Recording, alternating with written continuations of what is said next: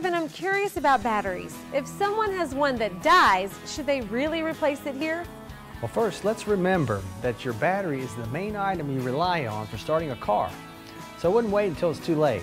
Get it checked before it becomes a problem. Can't I do that anywhere? Sure you could, but if it turns out you need a replacement, only our batteries are the original recommended equipment for your vehicle. Plus, they're guaranteed through the manufacturer and carry as much as a seven and a half year warranty. They're the best on the market.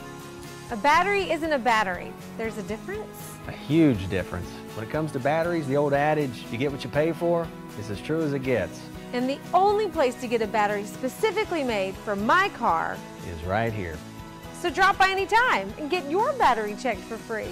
Thanks, Kevin.